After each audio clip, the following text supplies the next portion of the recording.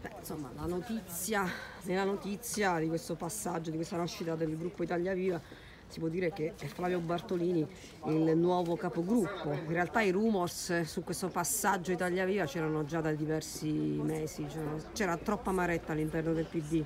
Bartolini.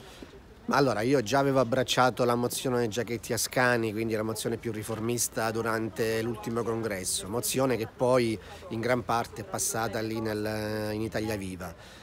All'inizio ho avuto forti remore perché io sono nato col PD politicamente, devo ringraziare tanto il Partito Democratico, sono stato lì 12 anni in pratica e, e, e quindi ho avuto questo, questi mesi di riflessione forte, solo che mh, mi convince sempre più il riformismo radicale che sta portando avanti Renzi rispetto alla posizione che ha il Partito Democratico. Quindi questa scelta era era già nell'aria da tempo e, e quindi eh, adesso ci siamo decisi, quindi cercheremo di riportare questo nuovo vento di, di, di, politica nuova, di riformismo che um, Italia Viva sta interpretando seriamente. Il, il, PD se ne è accorto solo ieri, Zingaretti, che eh, ormai non erano più i tempi ehm, di fare quel tipo di politica, ma eh, c'è bisogno di rilanciare il Paese d'Italia e le proposte dell'Italia Via mi convincono sempre di più e quindi a questo punto ho deciso di aderire all'Italia Viva. Certo, le proposte convincono, però anche magari il trattamento, tra virgolette, ricevuto nell'ultimo periodo all'interno del Partito Democratico, del gruppo consigliare, non so, si è sentito anche con Massimo Spega,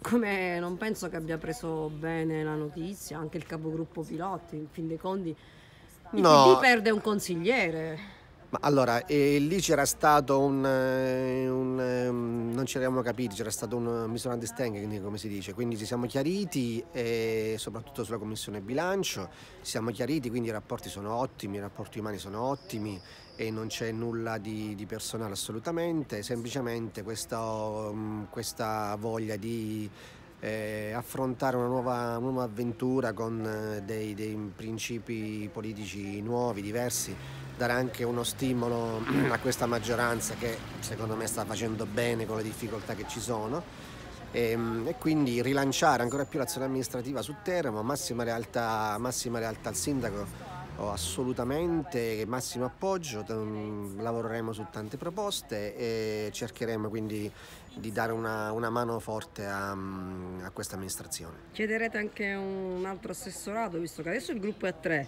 però da rumors sappiamo che probabilmente si allargherà.